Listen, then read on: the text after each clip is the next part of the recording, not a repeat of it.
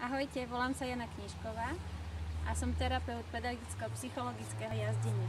A toto je Solon, náš terapeut.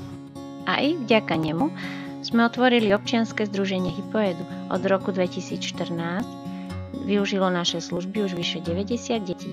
Do nášho týmu patrí aj pani Zdenka, diplomovaný fyzioterapeut a pani Helenka, zaučený asistent. A toto sú naši športovci.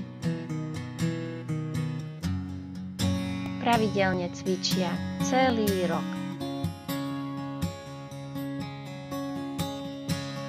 Všetci napredujú podľa svojich schopností a možností.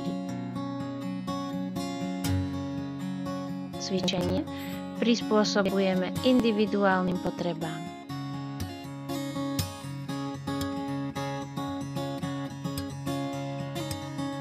Koníka potrebujú aj dospelí, ale je s nimi ťažká manipulácia.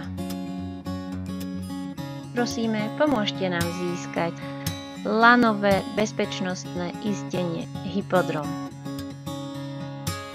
do tejto stavby. Hypodrom pomôže nám všetkým.